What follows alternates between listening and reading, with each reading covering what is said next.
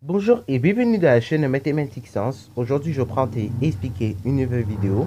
Cette vidéo donc en sciences et technologies sur le thème numéro 3, matériaux et objets techniques. Et dans cette petite vidéo qui sera assez rapide, nous allons tout simplement ici voir l'origine des matériaux. Alors déjà, c'est quoi un matériau?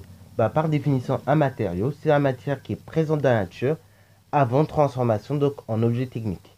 C'est pour ça là que je vous disais depuis la première vidéo sur les objets techniques que un objet technique, à la base, c'est un objet naturel. Parce qu'en fait, un objet technique est fait à partir de matériaux.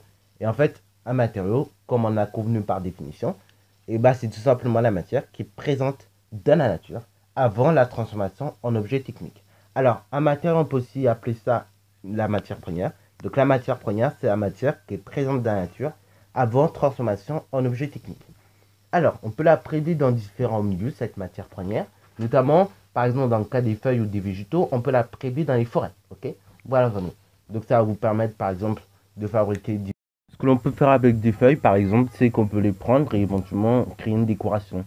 On peut également euh, s'en servir pour faire des plantes artificielles ou des choses comme ça. Voilà.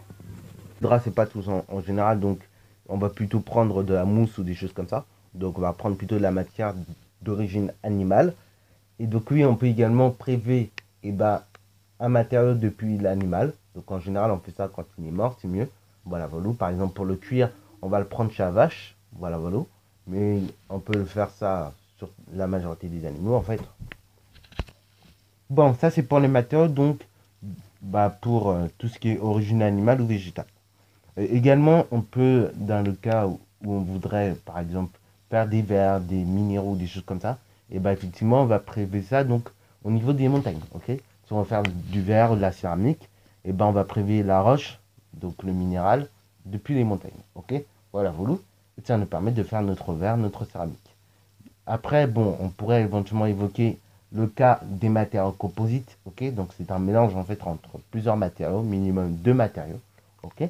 Et donc là, l'origine de ce matériau, bah, ça va être tout simplement l'origine d'un des matériaux en question. Ok? Donc ça dépend du matériau que vous mélangez afin donc de former votre composite. Ok? Voilà. Et enfin, dernière euh, chose, dernier cas particulier, le cas du fer, ok?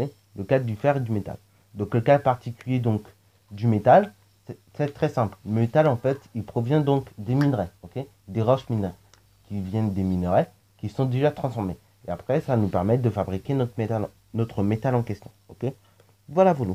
C'est la fin de cette petite vidéo qui est assez courte sur l'origine du matériau. J'espère qu'elle vous aura plu. N'hésitez d'ailleurs pas à la liker commenter et bonne toi en mathématiques et en sciences.